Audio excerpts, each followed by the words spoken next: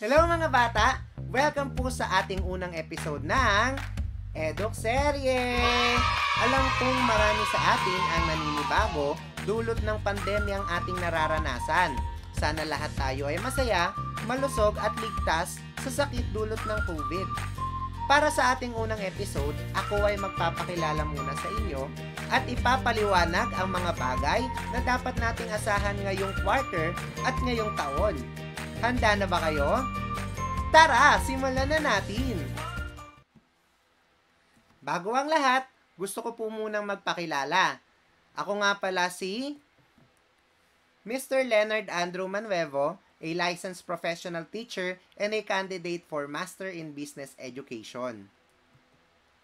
Ako po ay nagtapos ng elementarya sa paaralang Pedro P. Cruz Elementary School noong taong 2006. At para po sa kaalaman ng lahat, ako rin po ay dating abisyan. Natapos ko po ang aking high school noong taong 2010. Ako naman po ay nakatapos ng aking kolehiyo noong taong 2014 sa Politeknikong Universidad ng Pilipinas. Yan po ay sa kursong Bachelor in Business Teacher Education. Sa kasalukuyan, ako rin po ay uh, kumukuha ng kursong Master in Business Education sa kaparehas na universidad.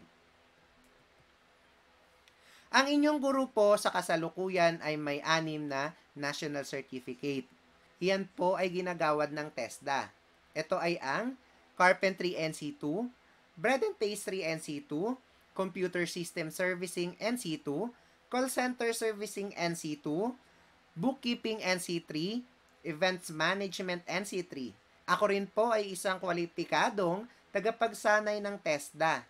Ako po ay may hawak ng Assessor's Methodology 1 at Trainer's Methodology 1. Una ko pong paaralan na pinagsilbihan ay ang Central Colleges of the Philippines. Ang Andres Bonifacio Integrated School naman po ang sumunod na aking ta- naging tahanan bilang isang guro. Ngayon po ay ang aking ikalimang taon ng pagtuturo sa nasabing paaralan. Sa kasalukuyan, ako po ang Abyss Glee Club Advisor. Para sa mga bagay na pag-uusapan natin ngayong taon, ito ay ang mga sumusunod. Para sa first quarter, ang pag-uusapan po natin ay ang bread and pastry NC2. Para sa second quarter naman po, ayan ay ang technical drafting. Sa third quarter naman po, yan ay ang electrical installation and maintenance. At sa fourth quarter naman po ay ang front office servicing NC2. Ngayon naman po ay dumako tayo sa EDOC serye. Ano nga po ba sa at para sa nga po ba siya? Sabi dito, ang EDOC serye ay isang programang nagbibigay kaalaman na ginawa ni Ginoong Leonard Andrew Manuevo.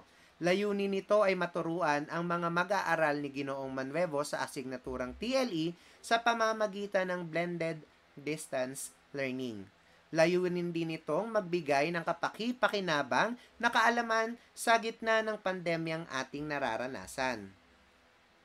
Ang EDUC serye ay isang uri ng programa na kung saan ay maaaring mag-access ang mga mag-aaral sa kahit anong oras. Hindi lamang online, kundi pati na rin kahit wala kang internet.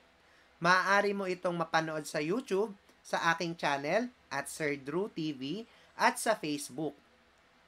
At kung kayo ay walang internet sa bahay, maaari nyo rin itong mapanood sa pamamagitan ng inyong smartphone, tablet, at telebisyon. Ang mga guardian ay bibigyan ng schedule upang magpunta sa eskwelahan at magdala ng USB o kahit anong gadget na may hindi bababa sa 1 GB na free storage para doon kopyahin para pwede na nila itong mapanood kahit sa ang smart devices. Ayos ba sa atin yon? Sunod naman po nating pag-uusapan ay ang CLADE module. Ano nga po ba ang CLADE module? Ang CLADE module po ay isang self-learning module. Ano nga po ba siya? Ang self-learning module or SLM ay kagamitan ng mag-aaral na naglalaman ng isang aralin na isinulat sa paraang madaling maunawaan at magagawa ng mag-aaral kahit wala ang guro sa kanyang tabi. Ito ay isinulat para sa distance o remote learning. ang ating LGU po ay bumuo ng isang programa at iyon po ay tinawag nilang Project Clade Learning. Sa Clade module, marami po kayong activities na makikita dyan. Iyan po ay maaaring pasagutan ko sa inyo at ipagawa.